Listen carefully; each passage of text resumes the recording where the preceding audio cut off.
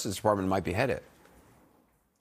It certainly suggests that the Justice Department is closing in on indicting Donald Trump, not simply for basically stealing top secret documents from the White House and secreting them in various insecure locations in Mar a Lago, but also for violating the Espionage Act and, based on this recent reporting, obstruction of justice.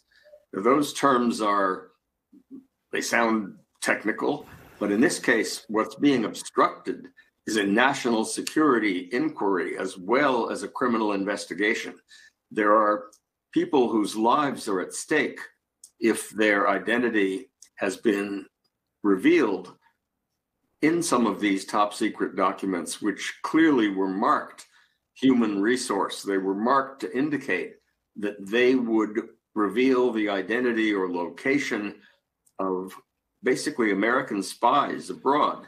They were marked to indicate signals intelligence. So this is very serious. And what I take these recent revelations to mean is that shortly after the midterm elections, indictments are likely to start flying. You do you believe that the Department of Justice might actually indict the former president?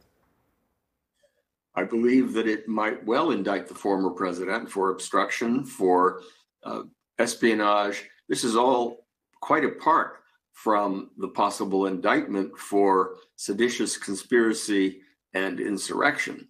I mean, it's as though he is, you know, building a moat around Mar-a-Lago and then trying to swim in it himself.